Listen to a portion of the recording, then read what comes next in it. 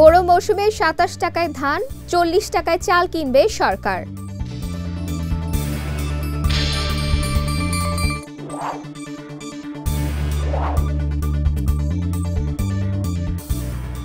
এবং মৌলভীবাজারে শ্রমিক সংকটে বড় চাষিরা।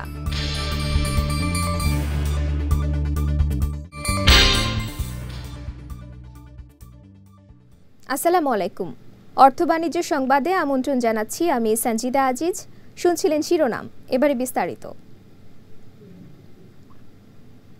চলতি বড় মৌসুমে সাতাশ টাকা কেজি দরে সাড়ে ছয় লাখ টন ধান এবং চল্লিশ টাকা কেজি দরে সাড়ে এগারো লাখ টন চাল কেনা হবে বলে জানিয়েছেন খাদ্যমন্ত্রী সাধন চন্দ্র মজুমদার।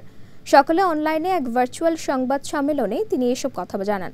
খাদ্যমন্ত্রী বলেন, চলতি বড় মৌসুমে ছয় লাখ পঞ্চাশ হাজার মেট্রিক টন ধান এগারো লাখ পঞ্চাশ হাজার মেট্রিক টন চাল কেনার সিদ্ধান্ত নিয়েছে সরকার।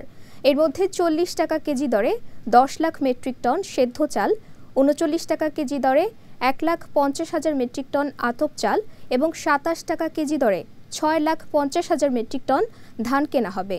আগামী আটাশ এপ্রিল থেকে বোরো ধান এবং সাত মে দু হাজার একুশ থেকে চাল সংগ্রহ শুরু হবে এবং শেষ হবে একত্রিশে আগস্ট।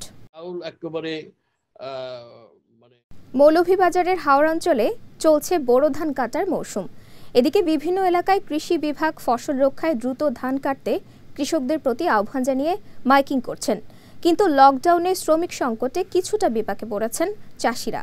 মৌলভীবাজার প্রতিনিধি জাফর খানের পাঠানো তথ্যচিত্রে ডেস্ক রিপোর্ট। আপনারা কোন চ্যানেল? জেলার হাকালুকি কাওয়াদিঘি হাইল হাওর সহ বিভিন্ন হাওরে চলছে ফসল ঘরে তোলার ব্যস্ততা। হাওড়াঞ্চলে এখন পর্যন্ত প্রায় তিরিশ ভাগের বেশি ধান কাটা শেষ হয়েছে। কিন্তু শ্রমিক সংকটে সময় মতো ফসল ঘরে তোলা নিয়ে বিপাকে পড়েছেন চাষিরা। ধান কাটার মেশিন আমরা নামে শুনছি এখনও দেখছি না। আর যে মেশিনের যে দাম এই দাম দিয়ে কেনার আমরা সম্ভব নাই। তো আমরা যে ফলন হয়েছে এটা শ্রমিকে কাটার মতো নাই। আমার ফলন হয়েছে আকাশের অবস্থা খুব খারাপ। কোন সময় শিলাবৃষ্টি হয় বন্যা হয় তা নিয়ে আমরা দুশ্চিন্তাত আছি। এই ধানগুলা ক্ষেতগুলা উগারও কোন দিন তুলতাম পারব গড়ে তুলতাম সময় মতো তুলতাম পারব নি আবহাওয়ার খবরও খারাপ হিল দিল দেওয়ার সম্ভাবনা অনেক সংকট। মেশিনটা দিলে আমরা অনেক সুজা মানে দ্রুত গতিতে ধান ফান আমরা গড়ে উঠাইতাম পারলাম। এ বিষয়ে জেলা কৃষি সম্প্রসারণ অধিদপ্তরের এক কর্মকর্তা জানালেন কম্বাইন্ড হারভেস্টার সহ ধান কাটার মেশিনের সংখ্যা বাড়িয়ে এ সংকট মোকাবিলা করা যাবে। ফলে আমাদের ধান কাটার মেশিন এবং স্থানীয় শ্রমিক যারা আছেন তারা মিলে আশা করি ফসল ঘরে তুলতে পারবেন। তাছাড়াও আমরা শেষ অবধি যদি দেখি যে শ্রমিকের কোনো সমস্যা সংকট সমস্যা হচ্ছে, যুব সমাজকে আমরা উদ্বুদ্ধ করব।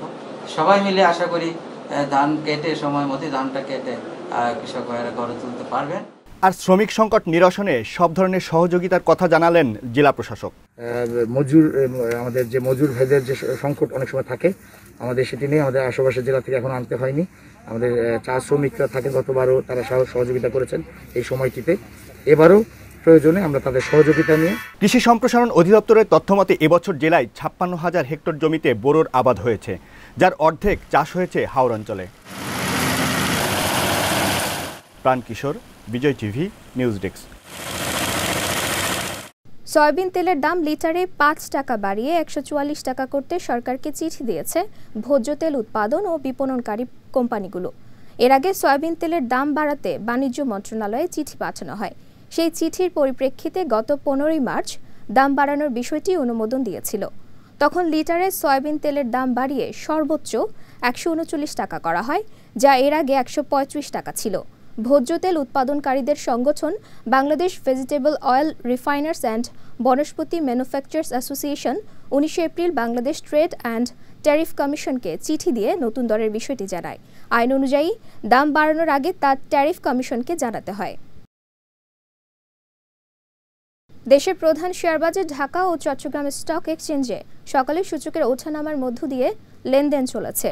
ডিএসসি ও সিএসসির তথ্য অনুযায়ী লেনদেন শুরুর আধা ঘণ্টা পর, অর্থাৎ সকাল সাড়ে দশটায়, ডিএসসির সাধারণ সূচক ডিএসইএক্স আগের দিনের চেয়ে এক পয়েন্ট কমে পাঁচ হাজার চারশো সাতানব্বই পয়েন্টে অবস্থান করে।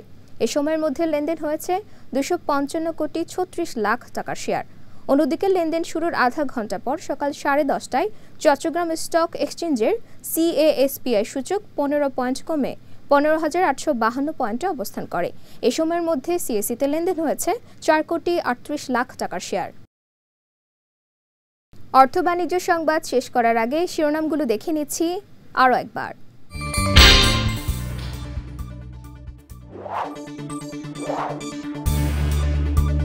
বড় মৌসুমে সাতাশ টাকায় ধান, চল্লিশ টাকায় চাল কিনবে সরকার।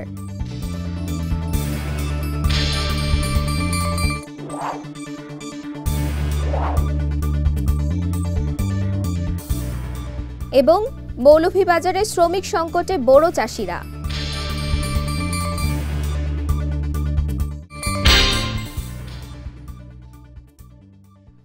অর্থ বাণিজ্য সংবাদ শেষে আজকের মতো। আমি সঞ্জিদা আজিজ, আপনাদের কাছ থেকে বিদায় নিচ্ছি।